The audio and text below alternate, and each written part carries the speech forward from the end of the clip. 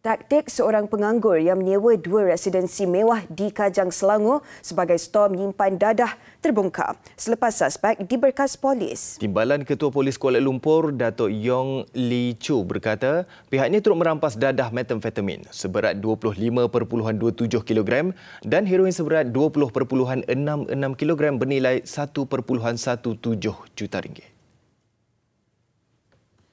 Suspek berusia 31 tahun itu ditahan di kawasan parkir di sebuah residensi mewah jam 1.30 petang. Hasil pemeriksaan, pihaknya merampas satu bungkusan teh Cina mengandungi dadah jenis metamfetamin seberat 1.05 kg.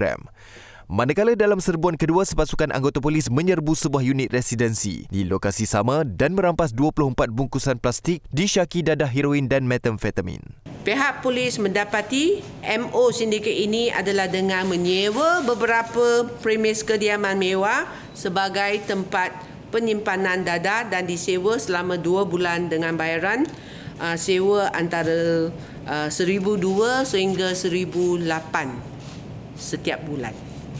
Pihaknya turut menyita wang tunai lebih RM60,000 dalam serbuan terakhir di sebuah rumah di Sri Kembangan. Hasil saringan air kencing mendapati suspek positif dadah dan kini direman selama tujuh hari bagi membantu siasatan mengikut Seksyen 39B Akta Dadah Berbahaya 1952.